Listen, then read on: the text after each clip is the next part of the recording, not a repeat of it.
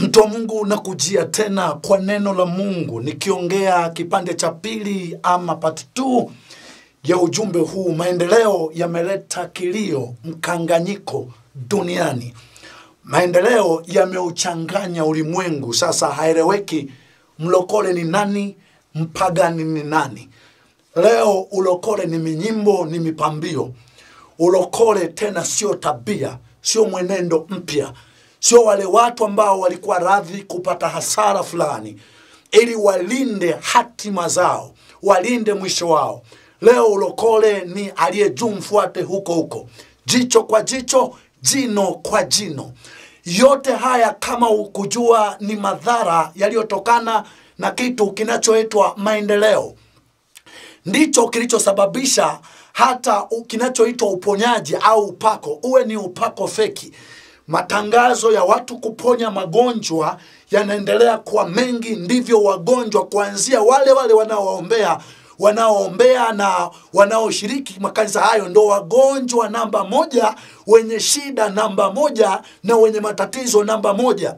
Hii ni kwa sababu maendeleo ina, inadhaniwa hata wewe bila shaka mwenzangu na mimi uliwahi kuishi. Nadhani nikija kufikisha umri fulani wa miaka 40 miaka 50 miaka 60 nitakapo nitakaposoma sana nitakapopata fedha sana nadhani nitakuwa karibu sana na mungu. Lakini kilichotokea ni tofauti kabisa.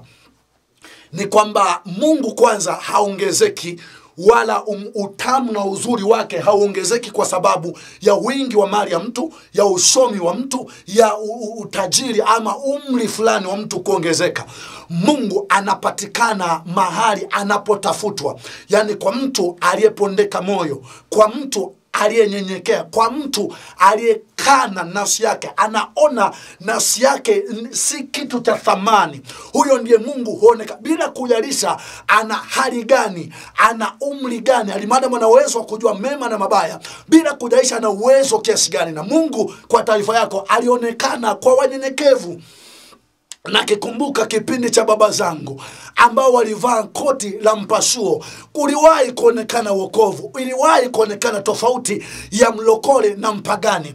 Nakumbuka kipindi cha baba zangu wa imani ambazo walihubiriana wali, wali wakiwa chini ya miti wakiwa kwenye nyumba fulani dhaifu. Uliwahi kuonekana wokovu. Leo kitu kinachoitwa maendeleo kwenye mijumba yenye marumaru kwenye migorofa ni upagani mtupu. Ni maisha fulani ambayo haeleweki ujue kwa nini maendeleo yamekuwa adui ya ustawi wa roho ya mtu na baadaye yamegeuza kimekuwa kilio kila kona kilio kila jamii jamii nalia ujue kwa nini maendeleo yamekuwa sababu ya kilio kila kona. Ni kwamba kinachotafuta sasa kanisani wanatafuta wasomi wanatafuta watu wenye umri mkubwa wanatafuta wenye mali ndio wanaopewa nafasi za mbele. Watu hawa kiujumla kwa, kwa asili mungu hatembei na watu wa aina hii kwa asili. Naomba nirudie hapa. Kinachotafutwa sasa kanisani kilichopeleka kilichopelekea sasa uwepo wa mungu halisi wokovu halisi uondoke. Kilichopelekea sasa kila kona kulia kwa sababu mungu akiondoka ni automatic mtalia. Mungu akiondoka ni automatic utajikuta unahangaika una mume ndio una, una mke ndio una umri mkubwa ndio lakini automatic unalia. Na wewe nayeongea na wewe najua sehemu kubwa ya kila ninayoongea naye asilimia 99.99 yanayokuongea nawe kuanzia klipu hii najua unalia. Najua unalia. Sasa nikwambie kwa nini uharibifu umeingia kanisani? Kwa nini uharibifu umeingia kanisani? Kwamba wanaotafutwa sasa walio muhimu sasa kanisani ni wasomi sana wenye mali sana au wazee. Hao wana uhakika anajua nikiingia kanisa lolote uzee wa kanisa unaningoja ushemasi unaningoja ukatibu unaningoja uchungaji unaningoja uaskofu unaningoja. Leo hii maaskofu leo hii wachungaji. Sio tena waliopondeka mioyo sio tena ambao njia zao ni safi. Hapana ni alimadamu awe na cheti eidha cha theolojia au atokee mahali fulani alikuwa marekani alikuwa ulaya e, ana ka, ana ka, ka, ka phd ana kacheti fulani ka shule ya kawaida ana kaduka mahali ana kajumba na wakati fulani mewahi maneno haya ya kwamba kama kwenye makanisa sasa kama wewe ni shemasi ni mzee wa kanisa ni mchungaji ni askofu.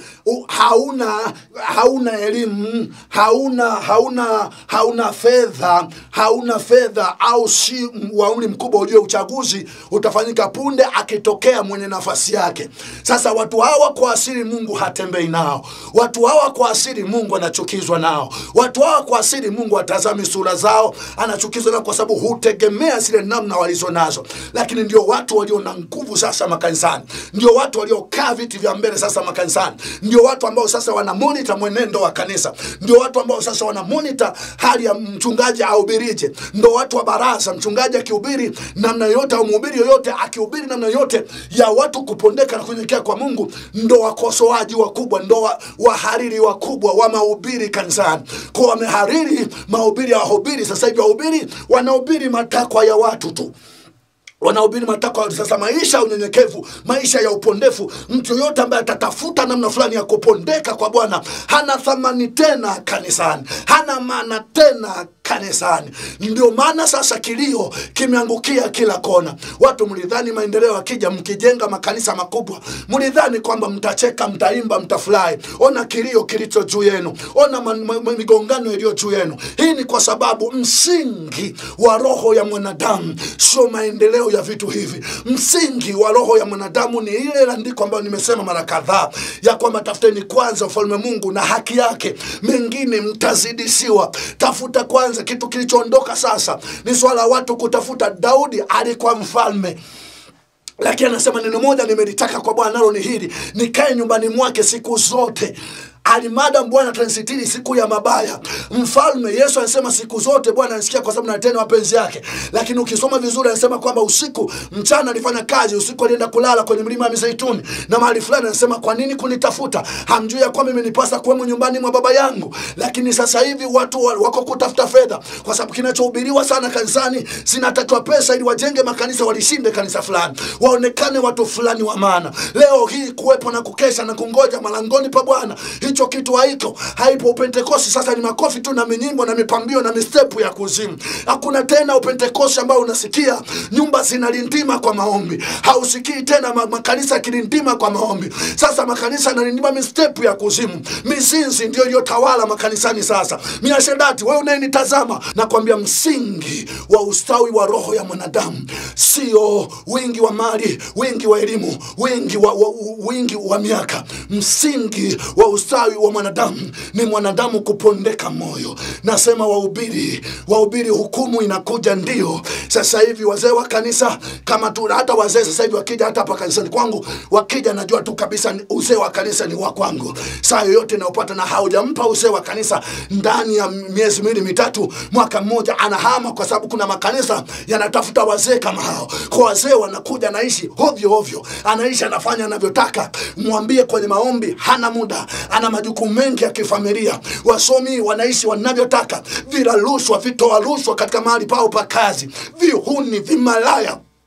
Lakini vikifika kanisani vinataka nafasi za mbele. Uki usipovipa ndani ya mwaka mmoja vimehama. Nasema hivi nitafika na mifupa lakini nitafika na haki ya neno la mungu. Nitafika peke yangu lakini nitafika na haki ya neno la mungu. Maendeleo yameondoa sura ya kanisa duniani. Maendeleo ujenzi wa mikanisa ununuzi wa vyombo na vitu. Naikumbuka imani ya baba zangu. Nakumbuka imani ya baba zangu. Walivaa nguo ya mpasuo. Waliishi kwenye makanisa ya kawaida kabisa lakini walitunza imani. Waling'ang'ania kwenye imani. Tafuteni kwanza ufalme wa mungu na haki yake. Hiyo vingine vyote mnajisumbua tu. Leo hii picha ya kanisa haipo. Sura ya kanisa haipo. Mipagani mitupu. Leo hii asimami mmojawapo ambaye anaona andiko hili linatimia kwake. Apate kujitwalia kanisa tukufu lisilo na hila wala waa wala kunyanzi. Na kuhakikishia kwa jina la bwana tena usijidanganye na ndivyo ulivyo. Nibishie utakapotuma ujumbe nitukane utakapotuma ujumbe. Na kwambia bila kungoja langoni pa bwana siku zote bila kukesa kwa maombi zaidi ya masaa matatu kila siku. Askofu wewe nilipagani nabii wewe nilipagani mwinjilisi wewe nilipagani mhubiri wewe nilipagani nilihuni wewe ni kipofu wa vipofu unaongoza lipofu si lolote tena ligonjwa unate, unakotibiwa unajitibu una, unatibu kwa, kuji, kwa kujificha. Inga unawambia watu mi nina upako. Muuni ni muongo. Alimadamu hauonekani langoni pa bwana kila siku.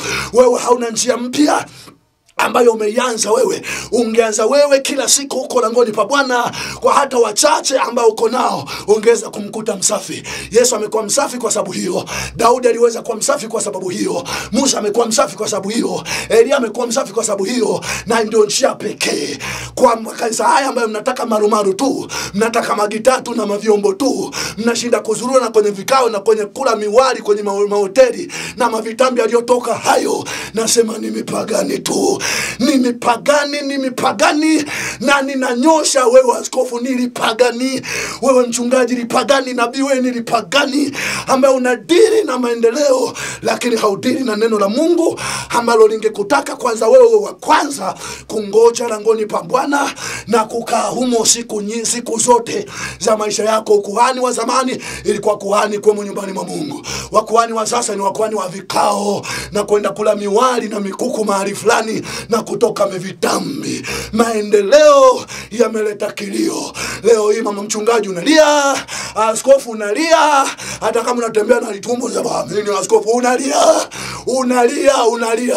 Manabii unalia hata kama unatabiria watu mema unalia. Nyumbani kwako kuna waka moto ndani yako kuna waka moto moyoni mwako mna waka moto. Unalia hautaweza kuwa salama kwa sababu ya jina kubwa la utuma unabii. Utakuwa salama kwa sababu utabaki kwenye neno la mungu na njia ya mungu na kuondoa tamaa ya maisha haya. Abaki bwana tu. Yeye kama ataruhusu tukawa na mali. Amina. Hajaruhusu amina. Lakini lilo kuu ni hili. Ufalme wa mungu kwanza mengine tutazidishiwa haki utakatifu kwanza ambayo haipatikani isipokuwa kwa kukesha kwingi kufunga kwingi kungoja kwingi langoni pa bwana kila siku kwa maombi mengi ndio maana nimeandika kitabu hiki bila maombi mengi utahangaika sana duniani. Na iwezi kutokea ukawa safi. Nilijaribu nina miaka zaidi ya kumi na saba katika wokovu. Nimejaribu njia zote hizo sijawahi kuona nia yangu fikira yangu na moyo na moyo wangu ukiwa safi. Isipokuwa kwa njia hii ambayo baba yangu ndio aliyoianza na angetaka tungeihubiri kwa nguvu yote ingawa nahisi siwezi kusikilizwa kirahisi.